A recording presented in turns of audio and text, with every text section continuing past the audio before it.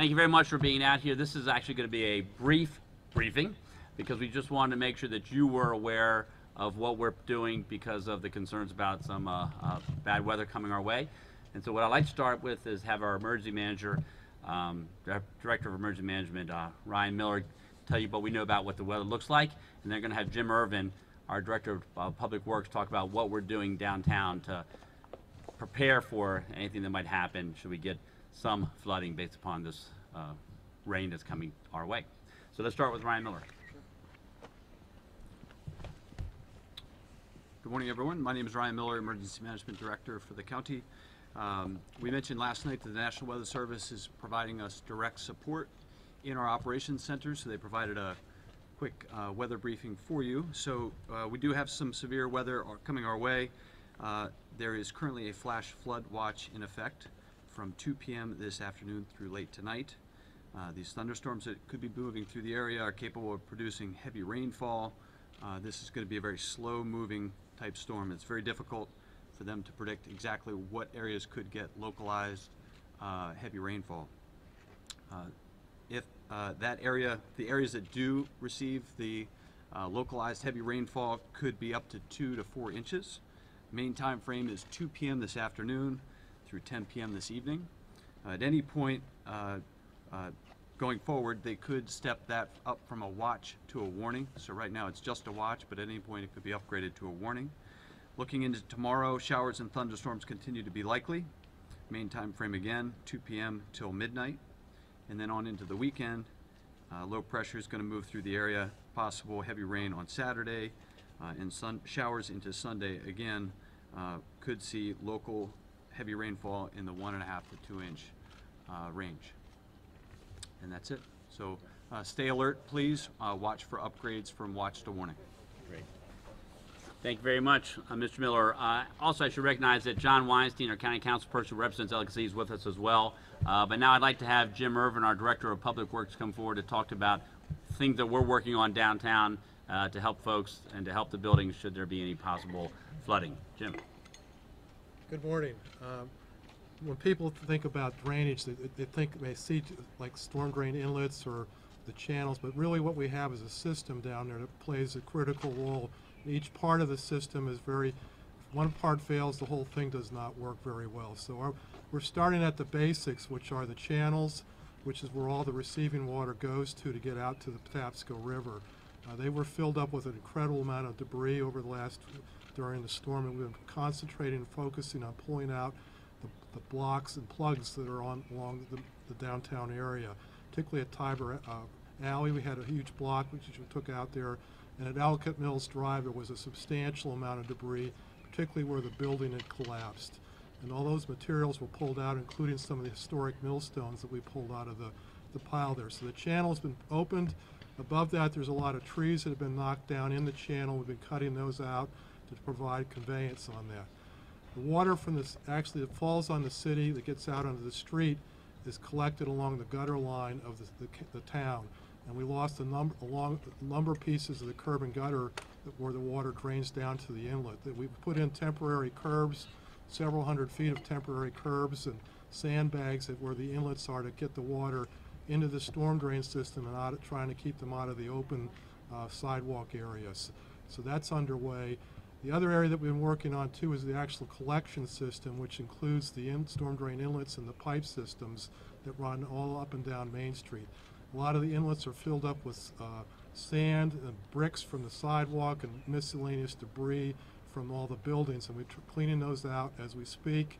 We're also trying to suck out the, the materials that are in the pipes themselves, so we have as much capacity to uh, process the stormwater into the, the channel system.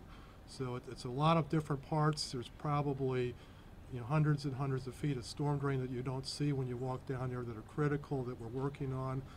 Another area that we worked on too is Hill Street. They lost the uh, hillside that supports the roadway and the adjacent homeowners. And we can't fi- it's it's like a fifty-foot cliff there right now. And so what we did to provide temporary protection so that the road doesn't get further eroded is we, we have hung can, or tarps along there keep the rainfall from eroding the, uh, the sides of the slope there. So that's, that was done yesterday. And we've also got a crew working through the the channels that that you don't see directly up and down between West Main Street and the lower end of town. So a lot of work, we're gonna continue at it. Uh, we'll be continuing to pump out with our, our equipment to make sure the drainage system is functional. And the key to it for us is to keep track of what's going on in the channels so the debris doesn't get back in there and cause one blockage and you can have substantial problems. And that's probably one of, some of the reasons we had as much devastation because of the the debris piles that came in and were formed during the storm. So it's an ongoing effort and hopefully we'll be ready to go uh, later today. Thank you. Um, also, because of the impending uh, rainstorm, we did cancel the opportunity for people to get down into the buildings. Uh, we had initially said from 5 to 8 p.m. Uh, we've canceled that. Uh, we don't want to have anybody get hurt. Of course, the most important thing always is safety. Uh, safety for the people who are who work and live there, but also safety for the folks who are working down there for us with DPW and others. So uh, there will not be any visits uh, from the residents or business owners or property owners down to Main Street today from 5 to 8 p.m. and we'll revisit tomorrow, depending upon how the weather is tomorrow. Um, but if you have any questions for uh, Mr. Irvin or Mr. Miller about what's going on, yep. Jim, can I ask you, uh, you mentioned, uh, a lot of the work that's been done, things been pulled out of the conduits, we're familiar with that from the last flood. Can you estimate, uh, how much of that main channel is now completely open and ready to accept water at this, at this hour? The channel is pretty much open at this point. There, I mean, there's still some things we need to do. We're trying to, but the major blockages are removed. The uh, culvert under uh, uh, West, coming down Ellicott Mills Drive, that's got a partial, it's partially crushed. It's probably got about a thirty percent capacity in there, so there may be, a normal storm would pass through what's left there. If we have a huge deluge, the water will come up above the culvert, but uh, the channel is open to take that, but it may be above it as opposed to normally in there. But the actual piles, they've been taken out. And Have you estimated in any way sort of the, the cubic foot volume or some kind of volume that we could understand of, of material that's been moved so far? I would say there's probably been a hundred trucks worth of material taken out.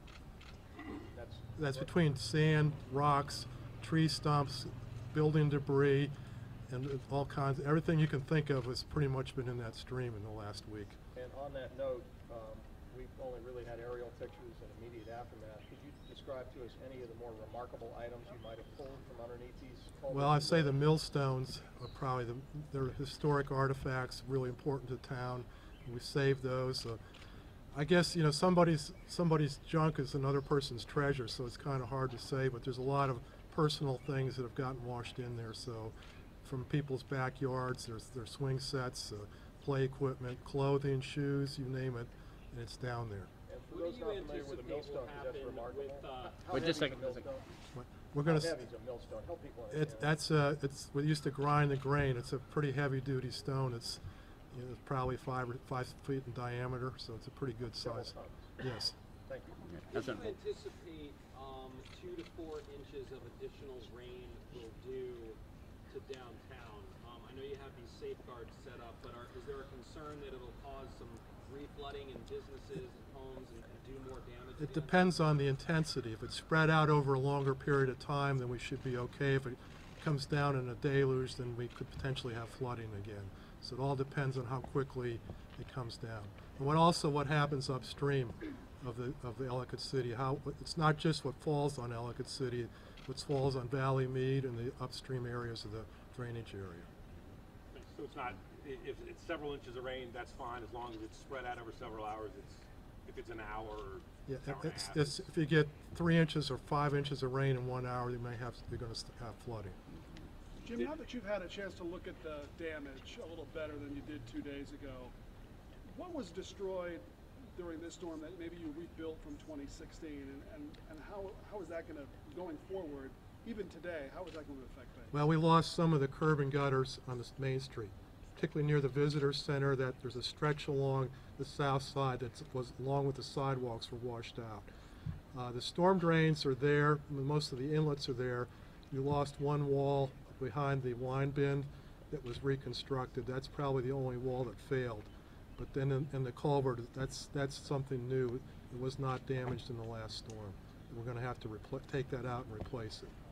These important note that most of the new things that we had repaired th- have- have That been They've staying. held, the the wall that we built have held, there's not, and the drainage systems that we built are still there, except for the curb and gutter and that one wall behind the wine bin.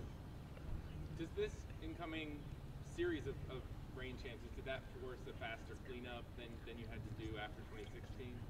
We've been, our direction is to get this done as quick as possible, whether it rains or not, so we're just, we're moving ahead, doing the best we can. Again, it's just focusing more on trying to protect as much as we can from the rain, as opposed to maybe just doing the normal reconstruction. Do you think like you're farther along in the cleanup now than you were in 2016? We are, We- this is, we, our, actually, our contractor started yesterday on the reconstruction, which is real, I think, pretty remarkable, given where we are. Uh, Mr. Kittleman, uh, I, I know this press conference is about impending Mhm, events, and things that are happening hour by hour. Uh, but it goes without saying, there's already been some, uh, overt protests about development, et cetera. Uh, where do you stand on that today? How can you put that in perspective for us?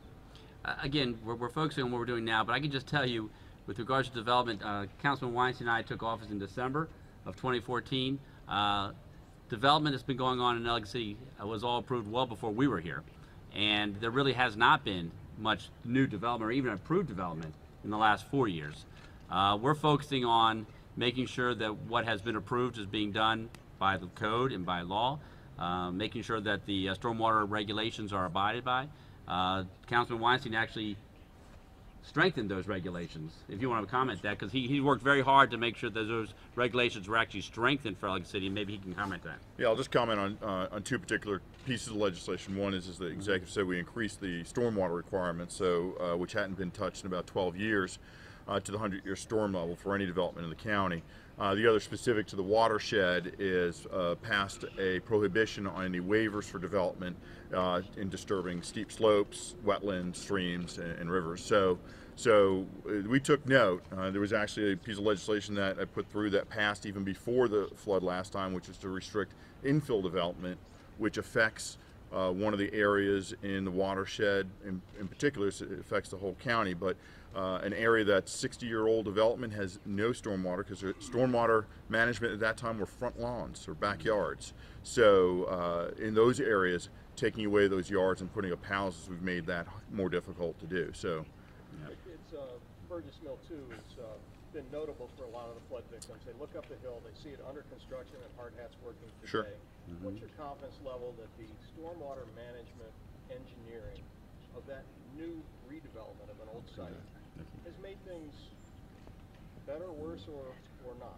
Uh, It's a, you know, it's a it's a very good question, and, and a lot of folks don't don't realize how, how the process goes. That site, like the neighborhood I just mentioned, had no stormwater management, very minimal stormwater management it before. It was an old old uh, apartment uh, complex, so they were required to add stormwater management. In addition, the county, uh, is part of the reconstruction, expanded the stormwater improvements in that area. I mean, Mr. Irvin can speak a little bit more about increasing the size of pipes along Fels Lane where that development's going. Uh, and so the, the net on that development will be more stormwater management than there was before. In Uh, other words, better despite the new development. Is, is that a? a- on that on that site, yeah, they had to put in stormwater management that did not. Now, I will I will I'll be there were constraints on the laws to allow us to require even more, and we sought relief from the state from the for that law. That was a state law, and unfortunately, uh, though I did go down to Annapolis and and uh, testify for that, that bill was put forward by Delegate Flanagan. Uh, that it did not move forward. So there are some other things at the state level that we can use some some help with. Is the engineering and hydrology study plus a proposed master plan, if you read it, it seems to me to suggest potentially in the future, the county should consider uh, committing itself to basically an eighty million dollar program to flood-proof or flood-harden Ellicott City.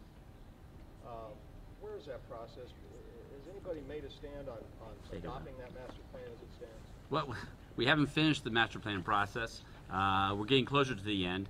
Uh, but yeah, we already are doing some of the projects that were in that McCormick study, the H and H study. Uh, stormwater retention facilities have already been designed and engineered. We have construction funding for some. Uh, the $1 million we got from FEMA recently, that's going toward the additional piping that we're going to help to relieve some of the, the flow areas in the west end. So we are already been moving forward. And when you consider the fact that from the last flood in, in July of 2016, the time it took us to recover from that flood, then the time to do the studies and also do the engineering and design, I, I think we're going very quickly in trying to get these things done. Uh, people need to realize that uh, Frederick, for example, uh, over decades have been working on it, and that was something that was a federal, state, and local partnership. And so we'll certainly be looking to our colleagues in the federal government as well as the state to help us uh, get more funding to help us with more mitigation. But right now, according to that study, we're basically doing what that study had recommended to do, and, and some of the bigger projects are certainly going to take a lot longer to consider. So. Thanks for taking these questions. I just have mm-hmm. one last one. We all have interviewed many, many 2016 survivors who are now questioning mm-hmm. whether they're going to come back this time. And a lot of them are, want a commitment to some kind of plan before they're going to make that decision. Mm-hmm. Uh, what's your message to them? What, for people who are saying, you know, I'm not sure this time, what's your message about Ellicott City for them? Well, I talked to a few of those last night at the information session. We had a lot of folks come out last night, and I really appreciate all the state agencies and local agencies and federal agencies from being there to talk to people. Uh, what I told them last night is the same thing I'll tell you right now: is I want to make sure you have all the resources and the services available to make an informed decision. Uh, we'll be talking, you know, soon about the things that we can be doing. Um, but I think it's very clear. We said this back in 2016. If you get six inches of rain in two hours, very little can really be done. We can make it less impactful, but we're not going to stop all flooding if you have something like that. If we get eight inches of rain in a five hour or four hour period, and the predominantly most of it in three hours, it's just very difficult. And so we can't give the assurances to people that, hey, if we have eight inches of rain, nothing will happen. We just can't do that. And, and you know, and my heart aches when I tell you that. And when I tell them that, because I want to tell them that it'll always be okay. But I think we owe it to them to say, you know, we're working the best we can to mitigate. Mitigate doesn't mean eliminate, it means mitigate, trying to make it less. And we're trying to do that. And so uh, it's going to be a discussion we're going to have. And I will tell you, in all frankness, the discussions we had after 2016 will be different now in 2018. And I've already talked to several people. It is a different conversation. Uh, Councilman Weinstein, I've talked about this a lot already too. We're going to have some different options we're going to be looking at and different ideas uh, because uh, this is a game changer in many ways. 2016 was too, but to have two of these in two years is a real game changer. And we've got to figure out what's the best way to move forward. But you know, I definitely understand where they're coming from, and both of us are committed to working with them. If you want to say something. Yeah, all I would add is, uh, so I, I started my business on Main Street and grew it there before I outgrew our space. So I spent about seven, eight years on Main Street. So I know the folks there, and, and as Allan said, we've had those hard conversations we did last time. Uh, you know, and the, the, the advice I gave to my friends who own businesses down there in 2016 when they asked the question, can you guarantee that this won't happen again? I said, absolutely not. We cannot. And you need to make a decision that's best for yourself, your family, your business, and your life. Uh, and I think we've re- reiterated that this time. Uh, and to go a little bit further, that for those folks who decide they're not coming back, we will do whatever we can as a county, uh, working with the state and federal partners to make sure that we are supportive of those people who don't come back, just the same as we will with the people who have. And there are some people I asked uh, Angie and Michel Tersiguel uh, yesterday when I saw them, or two days, I don't know what day it was, a couple days ago. Um, right, and, and I asked them, how are you doing, and, and what do you think? They're like, what do you mean, what do we think? Of course we're coming back. So there are folks who are determined, just as they were last time. And for the folks who aren't sure, we're going to give them as much information as we can uh, and work with them in, in, in talking about what that means. But at the end of the day, it's a decision that they all have to make individually as, as business owners and decisions I've made like that with my business. What's your sense from talking to them? Do you think that more of them will be like Michel Tersiguel and say, we're coming back? Or do you think more are going to say, we can't do this? I, I don't know that, that we can put a number. It's way too soon, and and there are folks who are are sort of leaning toward not coming back. That I think after the shock wears off and they eva- have a chance to fully evaluate the impact of their business, whether that they're going to come back, and they're also going to want to know what it's going to look like. These these Yeah. conversations that the executive talked about, they're just starting. It will be a different conversation, mm-hmm. and again, that that information as we have it will be shared with people so they can make a good decision. Councilman and County Executive, do you Yeah. think there are parts of the of the floodplain, you know, the most dangerous parts that simply should not be redeveloped or re-inhabited? Again, that's a conversation we're going to have. I can tell you in 2016, there were a couple places I wasn't sure, but people came to us and said, please, we want to rebuild. And we said, okay, if that's what you want to do, we're not going to tell you you can't. You've had this property for a long time. You know, there are certainly areas there, folks, that had this been a stream and someone came to us now and said, I want to build a house on a stream, we'd say, no, you can't. but they've had these buildings there for 100 years, 200 years. And so we're not going to tell them if they want to, to, to rebuild, we're not even going to consider letting you do that. That's something we have to have a conversation with people individually, and, and I respect them. I care about them too much to tell them and to dictate to them what we can, they can and can't do without a, a good discussion with them. So, no, we're not there yet. Any of the, discussion's gonna be different, I'm not sure I'm clear about how different, we're talking timeframes or?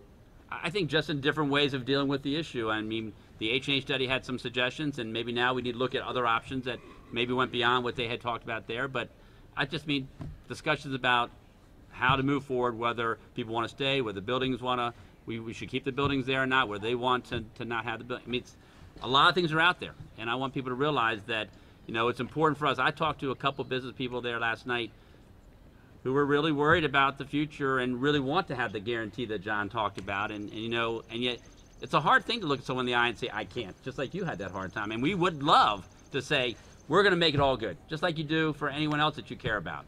Uh, but we have to be honest to people. And so, but there'll be different discussions on ways in which we can maybe make things uh, better for folks um, or, uh, or whatever. I think we should leave it at that for now. Those, those are discussions we're going to have. any of the buildings that you've looked at structurally unsound that have to be torn down?